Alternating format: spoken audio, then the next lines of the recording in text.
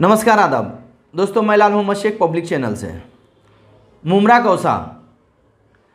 कहते हैं, मुमरा कौसा में मुस्लिम की आबादी है और मुसलमान एक अल्लाह ताला ने ऐसी कौम बनाया है कि शायद सारी दुनिया की चीज़ें मिल के भी ना उस किताब की बराबरी कर सकते हैं, ना उस खुदा की बराबरी कर सकते हैं।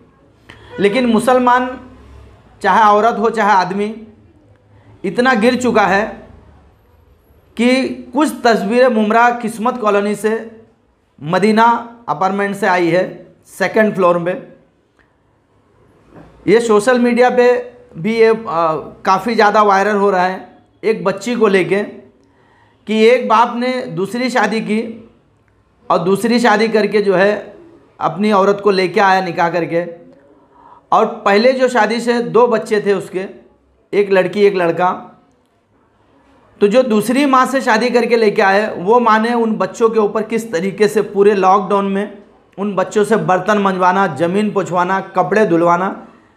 और अगर नहीं, वो बच्चे अगर करते तो उनको छटके देना मोमबत्ती से, चिमटे से जला के और उनको मारना, उनको चार बजे रात को ही उठा देना। इतने ज़्यादा जुल्म कि सौतेली माँ का जो है, ये मैं ये नहीं कहता हूँ कि सारी माएँ ऐसी होती हैं।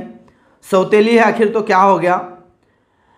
इस न्यूज़ के ज़रिए से मैं एक चीज़ और बोलूँगा कि मुमरा पुलिस ने एक शिकायत तो दर्ज कर ली है, लेकिन क्या इसका जो जिम्मेदार क्या इसका बाप नहीं है इसमें?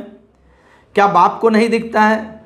बाप ने आखिर शादी करके इन बच्चों के लिए लाया था माँ, कि अपने लिए लाया था सिर्फ़ और सिर्फ़ बीवी? ये सोचने पर मजबूर कर देगा। ये वीडियो अगर आप देखोगे तो आपको हैरान और परेशान कर देगा। और ये उतना ही कसूरवार बाप है जितना बीवी कसूरवार है, उतना ही कसूरवार बाप भी है, क्योंकि बाप जानबूझकर कहीं अनजान बना है और इन चीज़ों को बढ़ावा दिया है, तभी जाके ये चीज़ें हो पाई हैं। मैं दिखाता हूँ कुछ तस्वीरें। तस्वीर देखकर आप खुद फैसला करिए कि इन बच्चों के हक में क्या होना चाहिए। सलाम वालेकुम दोस्तों, इस वीडियो को लास्ट तक देखें, कैसे एक सौतेली माँ ने बच्ची पर एक साल में इतना जुल्म किया। ये जो वाकया है, अक्टूबर 2019 में मुमरा की किस्मत colony, Madina apartment second floor पर हुई इस शादी में परवीन नाम की इस औरत ने इस बच्ची आफरीन पर बे इंतहा जुल्म किए, दिमागी और जिस्मानी तौर पर। संगम ज्वेलर्स की गली में हाजी मलंग बिल्डिंग में रहने वाले मोहसिन की बहन परवीन शेख ने बच्ची को चाकू, चम्मच, स्टील के स्केल झाड़ू से बहरमी से पीटा करती थी, खाने पीने के लिए बच्चों को तरसाया करती थी, सब जानते बूझते हुए भी उस बच्ची का बाप खामोश रहा। दोस्तों, हमें आपकी मदद से इनको एक्सपोज करना है। ज़्यादा से ज़्यादा प्लीज़ इस वीडियो को शेयर करें ताकि लोगों को पता चले इनकी असलियत और इनको सजा मिले। मैं लाल मोहम्मद शेख फिर एक नई न्यूज़ के साथ हाजिर हूँ जब तक के लिए खुदा हाफिज़।